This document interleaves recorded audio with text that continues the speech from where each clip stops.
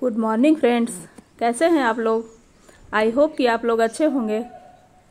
Friends अब monsoon का मौसम जाने वाला है और सर्दियों की दस्तक शुरू होने वाली है तो हमें कुछ ऐसे काम करने चाहिए, जिससे हमारे पौधे बहुत बहुत ही सुंदर हो जाएँ और काफ़ी सारी फ्लावरिंग करें।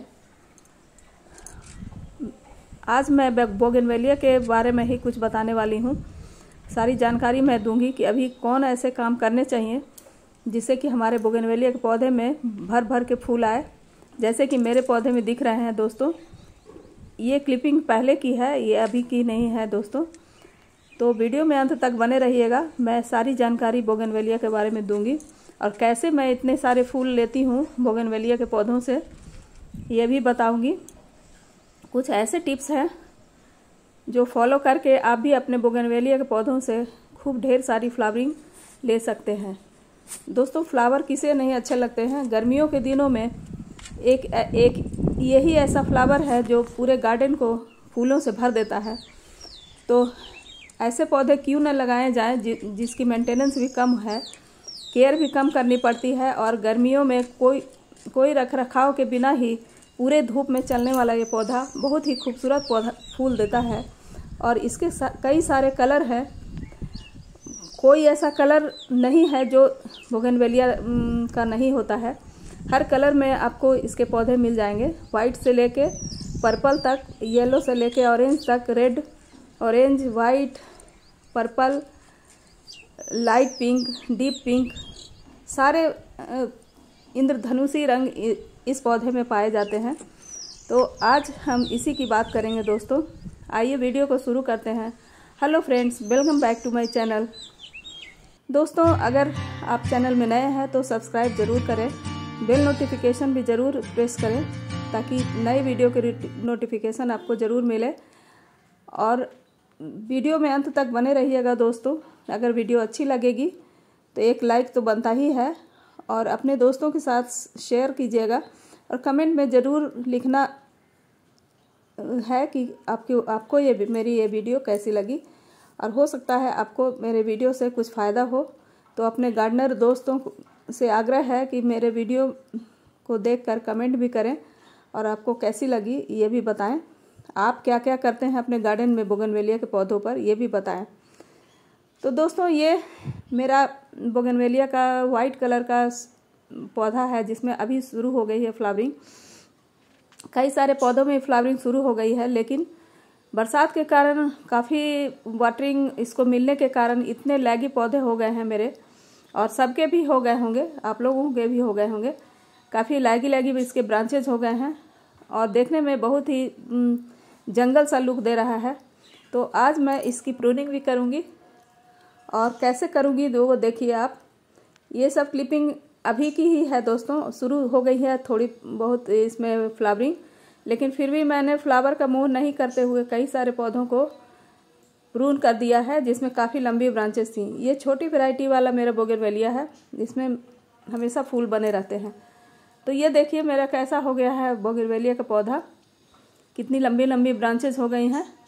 मुझे ऐसे पौधे बिल्कुल भी नहीं अच्छे लगते दोस्तों, और गार्डन को अच्छा लुक देने के लिए भी पौधों को प्रून करते रहना चाहिए ताकि देखने में सिस्टमेटिक लगे और पूरा गार्डन व्यवस्थित लगे।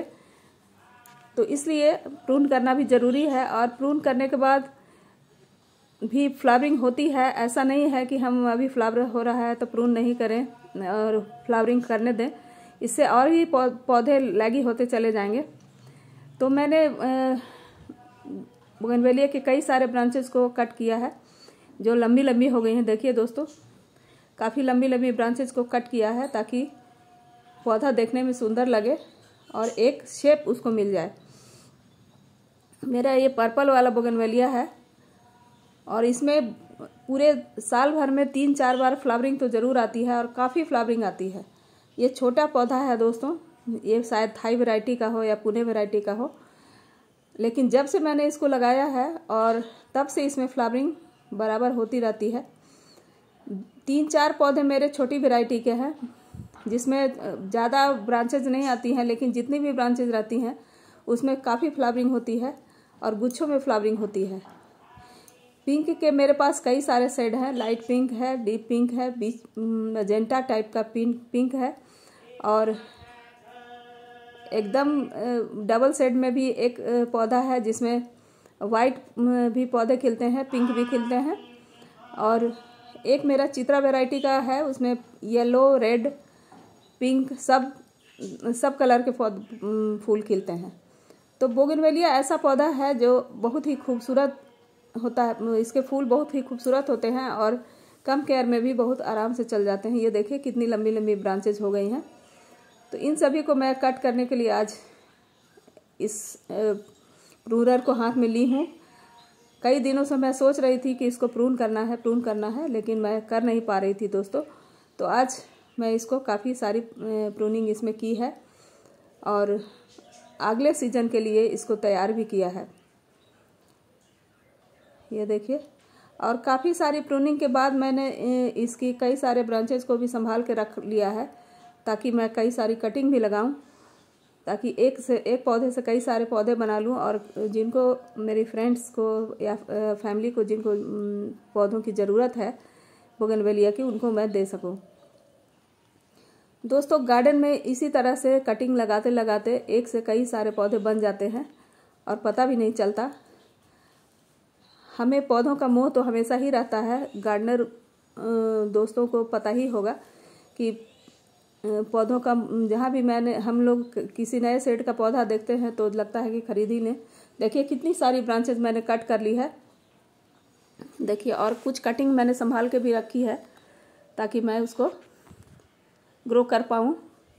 दोस्तों, ये बरसात का मौसम जाते जाते भी इसमें अगर कटिंग लगा दी जाए तो बहुत अच्छे से चल जाता है। अभी अच्छी ग्रोथ हो जाती है, ये देखिए। मैंने इस बकेट में कई सारे कटिंग को लगाया है। हर हर सेट का कटिंग है इसमें। ये देखिए, पत्तों को रिमूव कर लें नीचे से तीन करीब करीब तीन, चार इंच के पार्ट को और जो ब्रांचेज हैं उसको भी कट कर लें और तब जाके प्रून उसको कटिंग को लगाएँ ताकि इससे अच्छा रिज़ल्ट मिल सके। अब देखिए कि बोगनवेलिया के पौधे कई सारी कटिंग में, सारी कटिंग चल जाए ये ज़रूरी भी नहीं है। कोई कोई कटिंग ही चल पाती है। मैंने अभी दो तीन पौधे इससे बनाए हैं, अपने कटिंग से। तो कटिंग चल जाती है तो फिर तो कोई बात ही नहीं है, उसमें फ्लावरिंग भी होती है, ऐसा बात नहीं है कि अगर पुणे वैरायटी का है तो नहीं होगा। चलने, अगर कटिंग चल जाती है तो ज़रूर फ्लावरिंग होती है, खूब अच्छी फ्लावरिंग होती है। ये देखिए कुछ क्लिपिंग्स मेरे पुराने समय के हैं। दोस्तों फर्टिलाइज़र की बात करें तो अभी प्रूनिंग करने के बाद आप उसमें पौधों में गुड़ाई करें।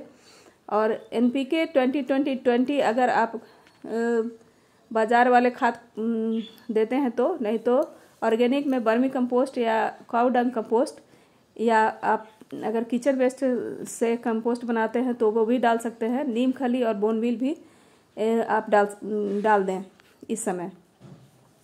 दोस्तों, मेरे बोगनवेलिया में इतनी फ्लावरिंग इसलिए होती है कि मैं समय समय पर लिक्विड फर्टिलाइज़र भी डालती रहती हूँ। जैसे कि आप काउ डंग का लिक्विड भी डाल सकते हैं, या फिर आप बनाना पील फर्टिलाइज़र डाल सकते हैं। ठंड में मैं तो जब सरसों खली मैं सारे पौधों में डालती हूँ तो इसमें भी डाल देती हूँ सरसों खली खली का लिक्विड फर्टिलाइज़र। और एप्सम सॉल्ट को भी डालना ना भूलें। एप्सम सॉल्ट से कलर बहुत अच्छा आता है और खूब सारी कलियाँ आती है, फ्लावरिंग होती है। तो इस तरह से आप इसकी केयर करें और खूब सारे फूल पाएँ। ये देखिए, मैंने कट करने के बाद ये ये सारे पौधे हैं, जो अब देखने में अच्छे लग रहे हैं और फ्लावरिंग धीरे धीरे शुरू कर रहे हैं। तो आज इस वीडियो में इतना ही दोस्तों। मिलती हूँ एक नए वीडियो में, एक नए टॉपिक के साथ। और बोगनवेलिया की इसी जानकारी के साथ आपसे वीडियो से विदा लेती हूँ। वीडियो में, चैनल में अगर नए हैं तो सब्सक्राइब ज़रूर कीजिए और बेल नोटिफिकेशन भी प्रेस कीजिए। तो आज इस वीडियो में इतना ही दोस्तों।